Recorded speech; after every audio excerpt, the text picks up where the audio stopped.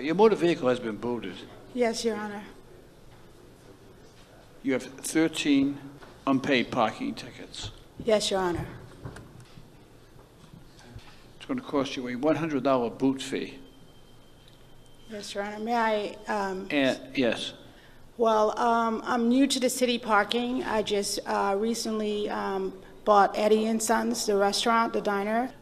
do you know what all these charges are? Parking at an expired meter. Yes, sir. You weren't familiar with that? You didn't know that you couldn't park at a meter after it expired? Oh, no, I did know that because That's there- what you're charged with. those, that's what's happening a lot. I know all about Eddie and Sons Diner, Yeah, all right? Yes, Because sir. this is a Rhode Island story, right? You know, in Rhode Island, everyone knows everyone else, yes, sir. right? Yes, sir. Eddie and Son, you know, was originally formed, a gentleman Chuck's- named Edward Caputo, Yeah, right? And Yes, his son was Tommy. All right, so after Mr. Caputo died, his son Tommy took over the restaurant. yes, sir. So the son was Tommy. Right, Tommy was married to my first cousin, Really? Connie. So I know all about Eddie and Son's Di- Diner. Right, I used to have breakfast there in the morning. Yes. And the one thing they would tell me is, be careful, don't park at the meter because you're going to get tagged. Have you opened the Yeah. restaurant yet? Yes, it's called Nico Bellis, and we have the best Italian food ever. Uh, all my customers are telling me this, and um, we give large No, portions you of talk about food. my cousin. She didn't have good Italian food? Oh, she was great. That's Oh, all why. I and I get a lot of customers because of Eddie's and Sons. They're like they'll come in and say, "Oh my goodness, I remember this, and they're, they're so great. I'm so glad you guys are here." I And mean, then those they were eat my our food. grandmother's recipes. You can't talk about that. I'm not saying anything about your grandmother's recipe. Oh. I'm talking about the Cranker family recipe now. What's, what's the best Italian dish that you make there? We make an outstanding meatball. Uh, Joe Paolino himself has said it's the best meatball he's ever had. All right, tell me how you make the meatball. First of all, let's go through, I'm going to go through this now. I'm going to give you a lesson in making meatballs, okay?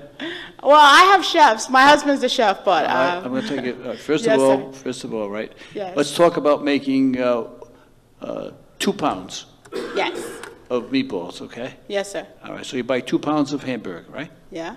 All right, what do you, gonna- what do you put them in now? No, I don't. I don't put two pounds of hamburgers in a. Uh, No, you, um, you're going to make a small meatball, but But you see, my secret is I don't just use hamburg. I, I'm putting other meats. Put in veal? Veal. Okay. And I don't want to tell my recipe, you know, but it's not all hamburg. Is what I'm saying.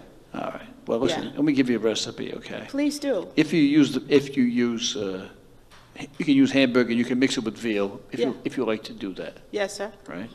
And so with one pound, for every pound, right, you put one pound of hamburger, you put two eggs, Yeah. you put grated cheese, right? And then you don't put breadcrumbs, right? You get a loaf of Italian bread, you let it get hard, and then you soak it in either milk or water, Yeah. Yeah. right? And then you crumble the bread, mm-hmm. right? Small piece of bread for a pound Yeah. of hamburger, right? And you Yeah. crumble that, you mix it all up, salt and pepper and a little parsley, right? Yeah. Yeah. Sounds delicious. Right, and then, now, I'm gonna tell you something. See, What's that? everyone makes meatballs around, right? Yeah. Make them, make them oval, make them like this, Yeah. see? And- Oval. Oval, like that, Uh-huh. right? Not round like that. Yeah. Oval like that, right? Yeah. And that way they cook through, because many times, see, it's very difficult, because you gotta pan fry them, you don't wanna bake them. Yeah. You gotta pan fry them. Mm-hmm. Mm-hmm. Right? You gotta put just enough now Reggio Parmigiano cheese, Yeah. and you'll have a great meatball. fresh. right? Yeah. Sounds good. You good. do that, there'll be a line around the block, right? Yeah. And you can Thank say those, you. you can say those are Phillies meatballs, that's my mother's name. Phillies. Okay. Anyway, it's not gonna help you with the fine. Oh no. I was just hoping just for a little reduction, please. I my all my money has Oh, gone I into the can't do that. restaurant. I you can't can't do do that. Okay. Yeah.